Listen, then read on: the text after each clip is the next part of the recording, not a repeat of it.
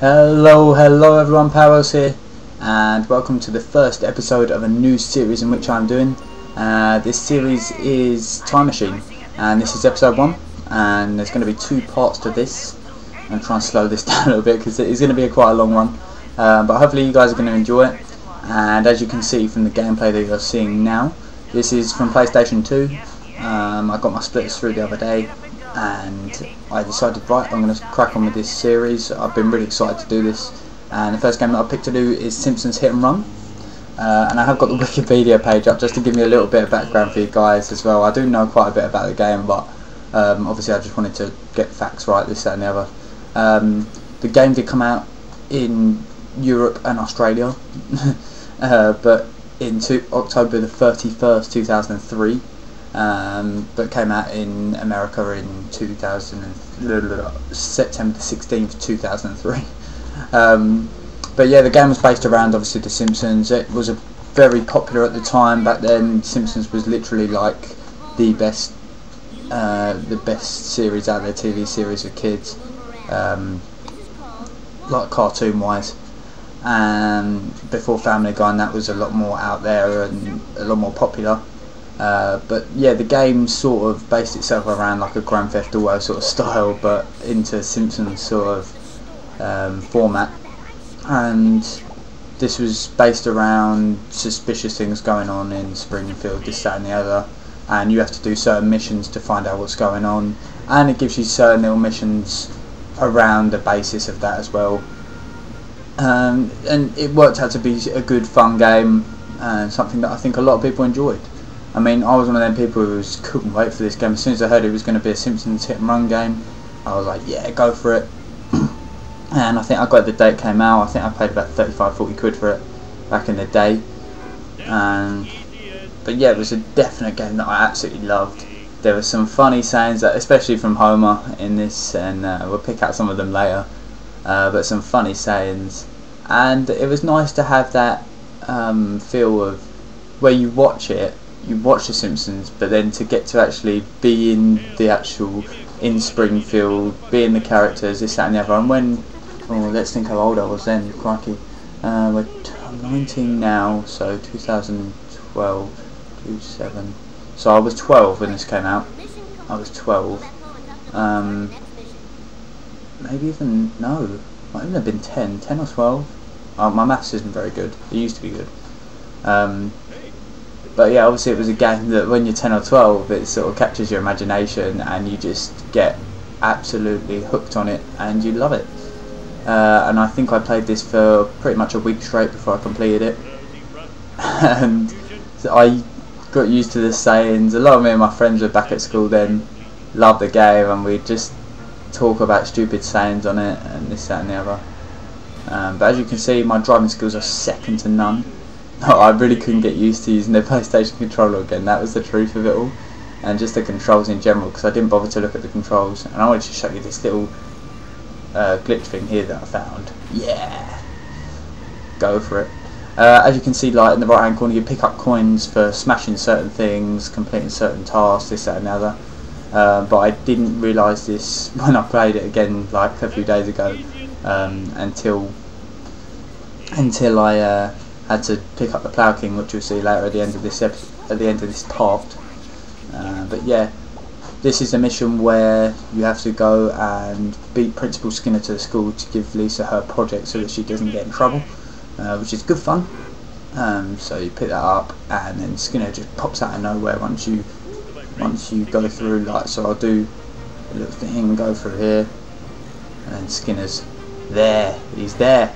But I start off terribly absolutely terribly. And I think I really fuck up some of these missions, but I do manage to always get back because at the end of the day, it's a kid's game. The missions aren't too hard. Um, some of them towards the end of the game, I remember, got really tough. I don't know why they made them so tough because I was, I did struggle with a few of them. Honestly, did. Um, a few of them are just tricky and just. Well, I'm not a, a massive like. I don't play too complex games like something like Skyrim, for example is it Skyrim? Um, something about took an arrow to the head or something. I don't know to the knee. I don't know. Um, yeah, I wouldn't play games like that. I just like playing games that are fun to play. and yeah, this was one of them without a doubt.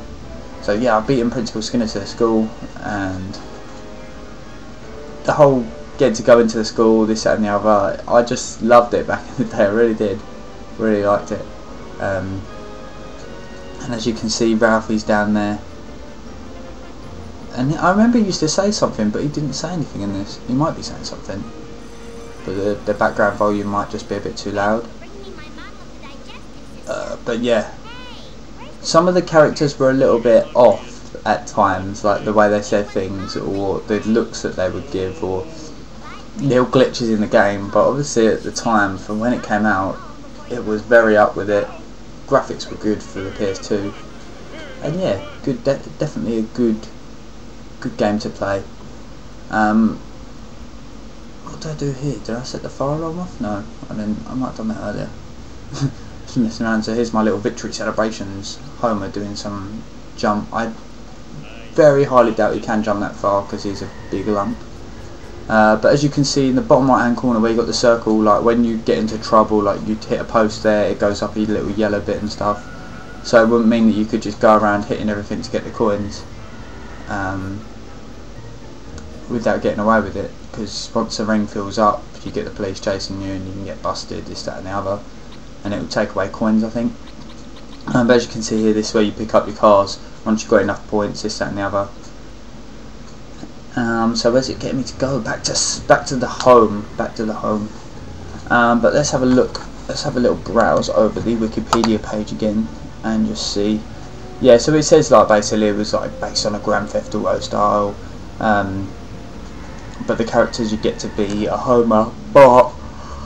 Uh, I think do you get to be Apu? I'm not sure. I can't really remember. Uh, you got the other two, this and the other. It, it, it, tries to fill in everything that was in the game. Um, so you just get a general outline of of getting to getting that feel of being within Springfield. And I think they did create this game very well. I really do think they did. Um, oh, this is. I think you have to go and talk to Ned in a bit because you're stealing stuff. It's quite. It's it's all very serious all very very serious. Um, yeah, the Buzz Cola things are a big thing in this as well, and just different stuff. This and never. Yeah, what they said was basically because they had Simpsons Road Rage, I believe, like it was about a taxi, crazy taxi. After the Crazy Taxi game come out, they did a Simpsons Road Rage based on that sort of thing. Um, that was in 2001 then in 2003 they brought this out but I definitely feel this is the better game I did have Road Rage for a bit I think I traded it in um, but yeah I've got to go and see Ned now and obviously we're going to reverse into him and plough him into the wall absolute quality but he's complaining basically that loads of people have stolen his stuff and even things like Rod's inhaler um, so yeah well once I said there he said with this, Homer feels a bit guilty and decides that he's got to go and get back every little thing that he's stolen from Ned. So you have to drive around on a time limit, as you'll see in a second, and go and pick up all the little bits and bobs that he has stolen. as it says, collect all the six, Ned, six of Ned's lost items. So I mean, the I got to pick up his tux at first, and let's see Yeah, nice easy one. But he gave you a bit too long, like time limit wise. Like, I think it would have been good if they uh, if they thought about it and maybe put time limits at different difficulty levels. So if you got easy, hard, and then easy, medium, then hard, so it would make it like a bit more of a challenge for people. There's obviously some people at 10 or 12 are still like really good at video games. I make a bit of a boober here. I get back into the car instead of talking to Barney. Okay, Barney, thank you. Thank you, thank you, thank you. Look at Barney, the alcoholic, the fat bastard. so we got the caller back, and that woman is stuck in the car. What is she doing in there? No. Ah, we run into a phone box. No. Oh god. Now I'm picking up a chair. Is that re a really stylish chair? Not fun, Homer. Not cool. So I have two and a half minutes to find a portrait. This should be fun. Uh, it's frustrating when the cars get in your way and you're like, ah no. So there's the portrait, and obviously, as you can see, it gives you far too much time. But we're not going to complain because this game was amazing, and that's what we're doing this series for. I'm doing this series to show you guys that, um, to try and get this community back into a bit more of a high spirit because I am honestly sick to death of seeing videos where people are just constantly rowing. I feel like everyone's in a comp in like some sort of competition where they think that they've got to be the best or they've got a point to prove. And it's not about that, it's about everyone like back when people first started making videos, enjoying yourself and in and making videos for the pleasure of yourself and for the pleasure of everyone else that wants to watch it, making something that that people think's fun and can get people talking and enjoying video games in general rather than like taking it too seriously and and slating each other left, right and centre. Um, but yeah, Ned's still standing outside his house. I don't really know why. You would stroll around outside your house. I don't know who else does that. I usually prefer to sit down because my legs will ache otherwise. so yeah, Ned's Ned's got his bits back. I can't really hear what he's saying because I've tried to keep the volume down in the background. Oh yeah, it's something about a reward. And then he says you can't have a reward, it's from God or something stupid like that. So yeah, obviously because I'm really, really, really not lazy, I drive to the Simpsons house because that's how it's done. Yeah, typical Homer style, you've got to do everything very lazily. Lazily, do like that word. So we are in and talking to Marge again. And what does she want? just the, the blue hair is just quality. I just when I was making this series, the blue hair, I just don't get where that would come from. So now we have to drive to the burger place. Oh, where's he going? Where are we going? Turn him around. Yeah, it was quite cool with like the green arrows on the road, show where to go, this and the other. It was like a simple Grand Theft Auto for kids.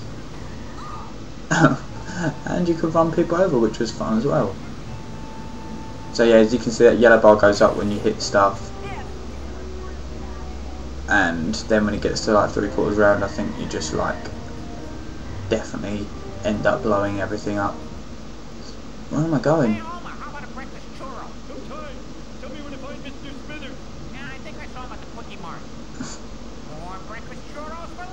So I think this is Lenny or Carl. We need the Plough King. We need the Plough King from Barney.